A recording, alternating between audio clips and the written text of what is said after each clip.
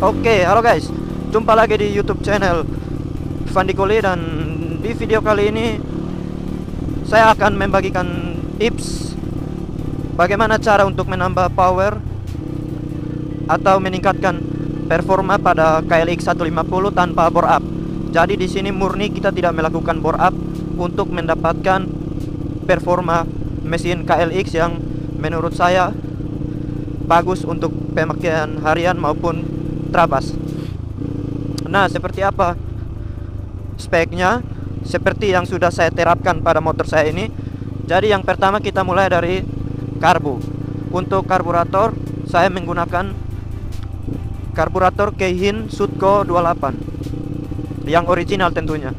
Kemudian noken as.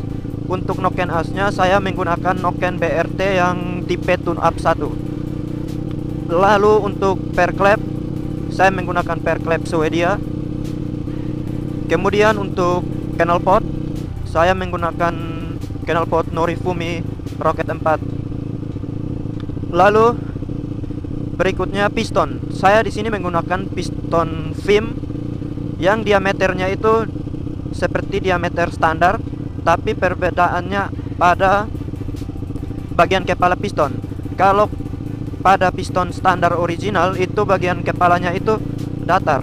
Sedangkan pada piston film ini bagian kepalanya itu jenong. Jadi otomatis itu akan menambah kompresi. Nah, tentu kita tidak cuma berteori. Saya sudah aplikasikan pada motor saya ini dan kita akan coba seperti apa speed dari motor ini biar kalian juga bisa tahu bagaimana performa motor ini dengan part yang sudah saya ganti. Jadi kita tidak main bore up supaya lebih aman dipakai buat harian dan mesin pun tidak terlalu panas. Biasanya KLX itu masih mesin standar saja sudah panas apalagi kalau di bore up.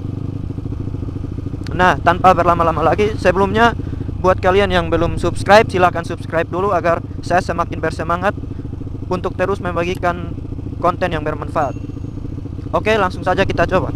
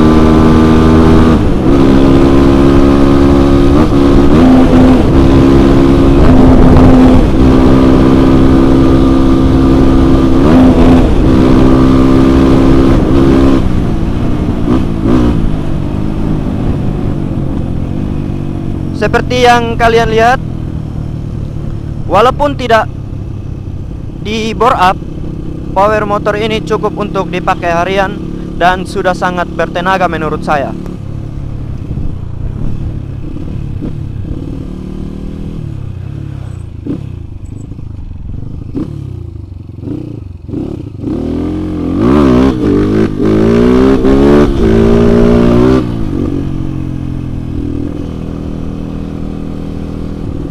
Jadi kesimpulannya guys Tidak selamanya motor yang enak untuk dibawa kencang itu harus bore up. Dan tidak selamanya membutuhkan modal yang besar Untuk mendapatkan motor dengan performa yang cukup bagus.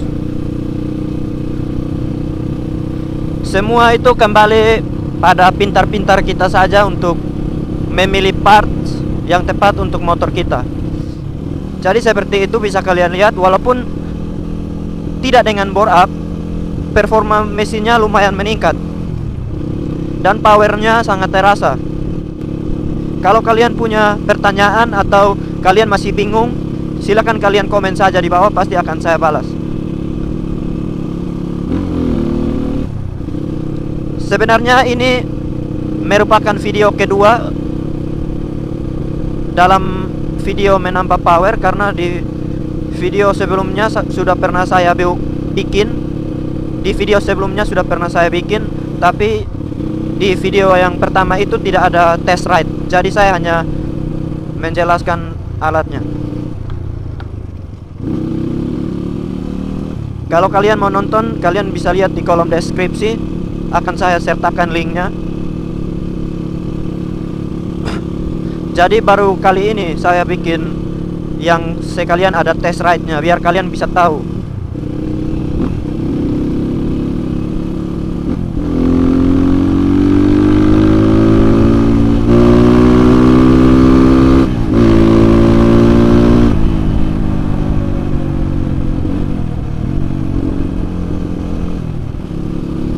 Oke jadi sekian untuk video kali ini Sampai jumpa di video-video selanjutnya.